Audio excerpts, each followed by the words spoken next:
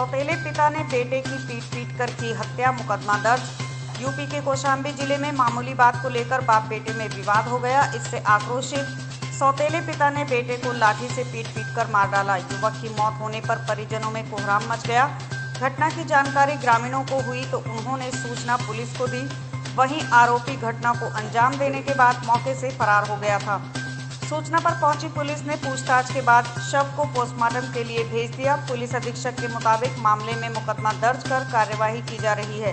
घटना कोशाम्बी थाना क्षेत्र के बड़गांव की है, जहाँ गाँव की ही सुशीला देवी अपने मायके में रहती है।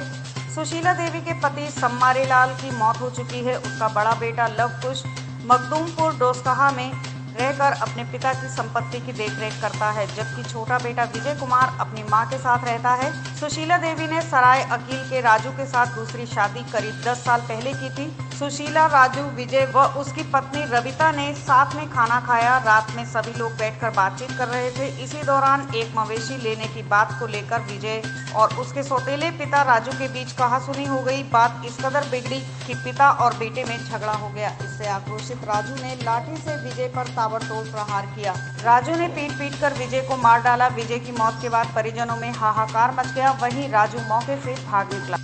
आज एक सूचना मिली थी कि एक रसूलपुर बडगांव, एक गाँव पड़ता है, थाना कौशाम्बी क्षेत्र में।